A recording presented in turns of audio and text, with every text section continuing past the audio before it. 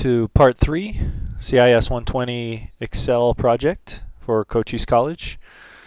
Uh, part three has us doing two things, creating a pie chart and then using the subtotals feature. This video will um, will just cover the pie chart component. Okay, so we're going to go ahead and select from A1 all the way down to B5.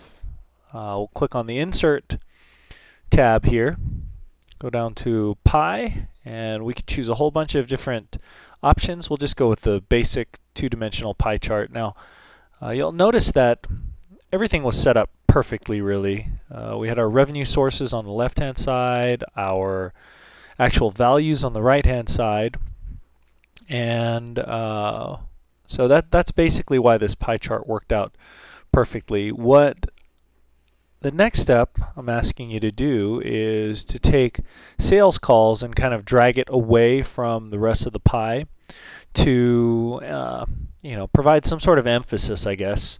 So we'll go ahead and click once on the pie chart, then click once more on the sales calls piece of the pie, and then click and drag it away from the rest of the chart. Okay. All right, uh, so that's basically it. Just a very simple pie chart in, um, in Excel 2010.